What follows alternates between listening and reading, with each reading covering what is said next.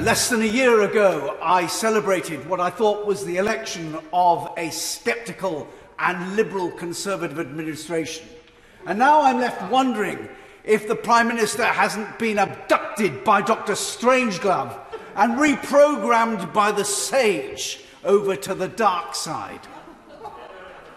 The purpose of politicians is to impose a measure of um, proportion, a sense of proportion on science and not to be enthralled to it. Now, I will make myself very unpopular, but I believe that the appearance of the chiefs last week should have been a sacking offence. When they presented that graph, oh, with the caveat that it wasn't a prediction, but nevertheless, it was clear that they presented it as a plausible scenario with its 50,000 cases per day by mid October based on the doubling of infections by the week. Not once, not on one day since March, have there been infections on that day that were double that of the day of the week preceding. Not once. Where did this doubling come from? What was their purpose in presenting such a graph? It was the purpose of the fat boy in Pickwick Papers. I wants to make your flesh creep. It was Project Fear. It was an attempt to terrify the British people as if they haven't been terrified enough. Now, I've been banging on about this since March, and every criticism I've, been, I've made, I've been told that the government was relying on the best possible science. So I am delighted by the letter one week ago today the nuanced criticism of Professors Hennigan, Gupta, and Sikora. And I believe that it is now the government that has to answer that criticism.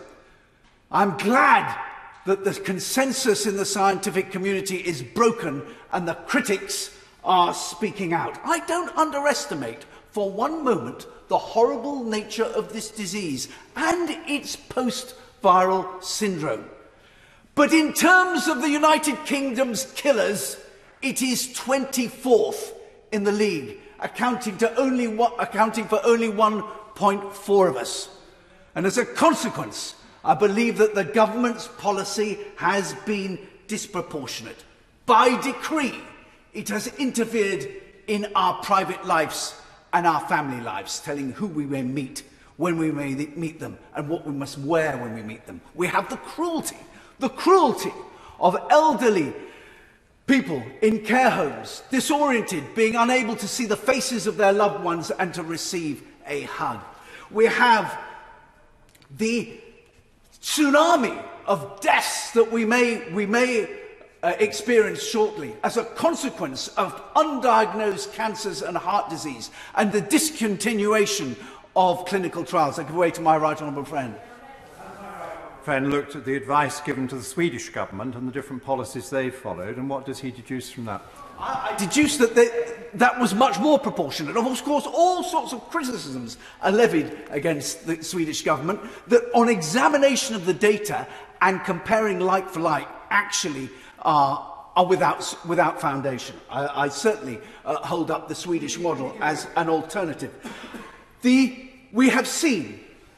the eye-watering costs that we must now all face for a generation uh, having closed down our economy for uh, the, all those months as a consequence of the government's policy.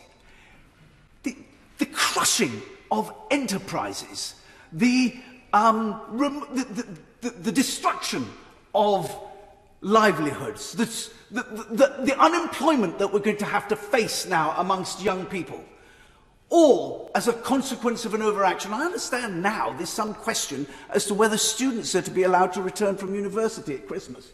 Can I say uh, most gently to my honourable friend on the front bench that the last administration that sought to restrain celebrations at Christmas was during the Commonwealth, when the Lord Protector, as a consequence, was left musing in public as to whether, if he were to arm one in ten, that would be enough.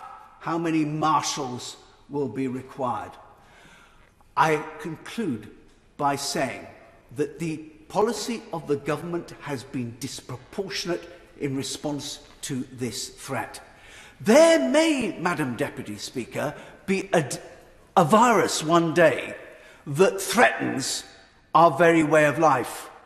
But this isn't it, even if we're behaving as if it were.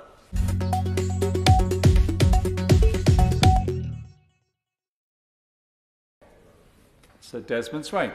Mr Deputy Speaker, we've made the case against the regulations in this House and we've lost all the votes. And that's democracy.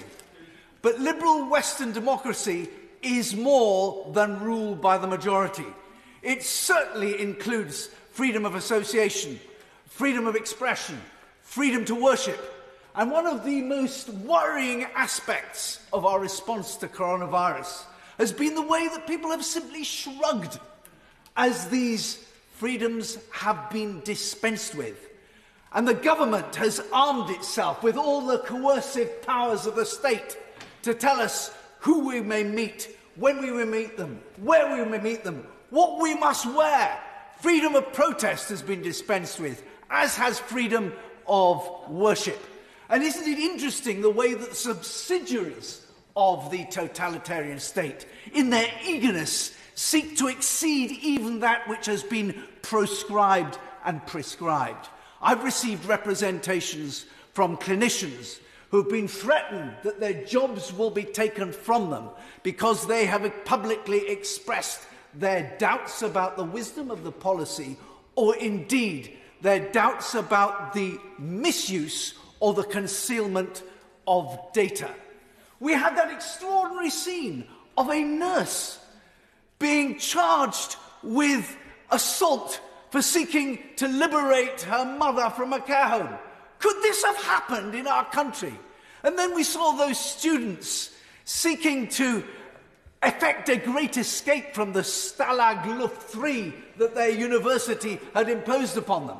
And as these enormities occur, instead of the expected rising chorus of protest, on the contrary, we're told by the posters that actually the British people thirst for even greater restraints on their liberty. I am appalled, absolutely appalled.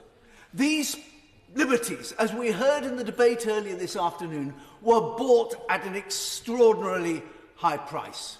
So now, as we move into the vaccinated sunny uplands of release and freedom, there is a danger that the state has learnt a powerful lesson over the last few months, namely that the British people don't worry too much about their liberties and that they can be dispensed with conveniently when need arises. I hope that this House will wake up to that danger and seek a remedy. Bill Esterson. Sir Desmond Swain. Why will you be able to buy a pint in a sports venue without getting anything to eat? But if you order a pint in a pub, you'll have to have a substantial meal. I'll leave that hanging as the great existential question of the day. Madam Deputy Speaker, suppression in anticipation of vaccination is the reason for these measures before us today. But people have been writing to me for months, terrified that a vaccine will be compulsory. And I've responded by saying, don't be so absolutely ridiculous.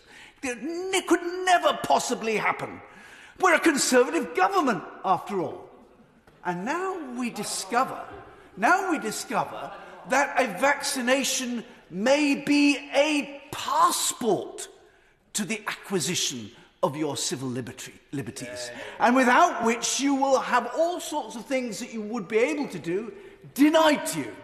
Can I say that that would be absolutely disproportionate to a, a virus with a mortality rate of verging on 1%. It would equally be a terrible precedent to set for other vaccines and medicines. Uh, so I hope that we can get away from that. The way to persuade people to have a vaccine is, of course, to line up the entire government and its ministers and their loved ones and let them take it first and then get all the lovies, the icons of popular culture, out on the airwaves singing its praises. To have any kind of suggestion of coercion absolutely feeds the conspiracy theory that we are being cowed and our liberties being taken away.